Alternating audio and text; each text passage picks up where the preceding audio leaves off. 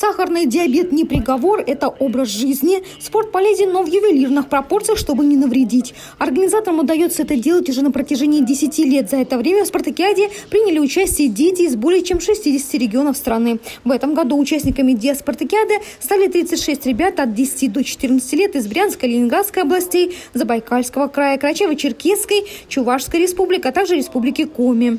Каждый год э, ребята собираются из разных регионов. Как правило, это дети из малообеспеченных семей, которые не могут себе позволить приехать просто так на море и отдохнуть.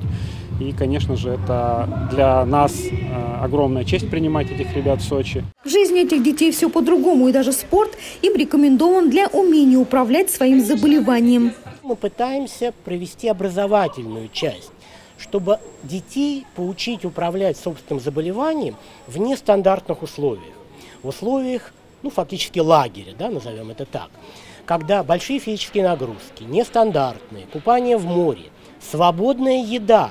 У нас нет никакой специальной диеты, это давно ушло уже в прошлое диета у людей с диабетом первого типа, которые на инсулине.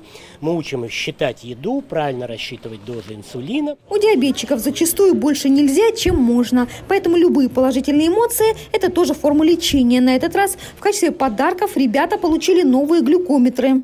Это нам поставили специальный прибор, чтобы измерять сахар и залепили его пластырем, потому что мы будем заниматься спортом, чтобы он не отвалился. А ты можешь показать, как это работает?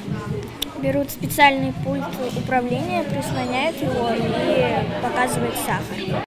Приобрести такой аппарат для непрерывного измерения сахара в крови может далеко не каждая семья. Срок его использования – две недели, а стоимость почти 5000 рублей. Однако ношение именно такого прибора позволяет детям контролировать цифры, от которых зависит их жизнь. Ребят ждал еще один сюрприз. Поддержать их приехала первая участница спартакиады, а ныне победительница чемпионата Европы по зимнему триатлону Юлия Байгузова. Спортсменка рассказала, как добиться успехов, несмотря на диагноз. Зарядившись хорошим настроением, мальчишки и девчонки будут в течение недели соревноваться за звание лучшей команды, которой не страшны любые испытания.